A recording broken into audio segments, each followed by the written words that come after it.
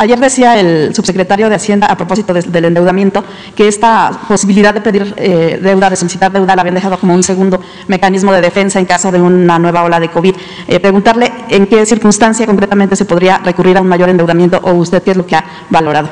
No descarto eh, esa opción, esa posibilidad.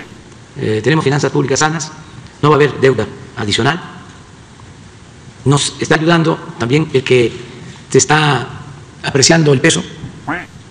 El, aumento de deuda, eh, aún sin solicitar nuevos créditos, se presentó por dos eh, factores. Uno, la caída de la economía. Y dos, por la depreciación del peso debido al COVID.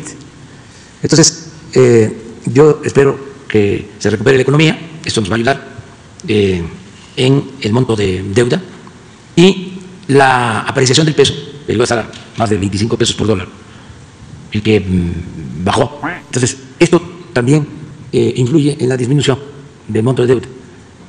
Por eso no veo eh, ningún riesgo. Eh, no eh, se advierte, y toco madera, que vaya a haber un rebrote en la pandemia. Y también toco madera, porque no creo que se presente un rebrote económico, es decir, en la crisis económica. Entonces veo que vamos hacia adelante. Desde luego, poco a poco, pero vamos saliendo. Eso es lo que planteo.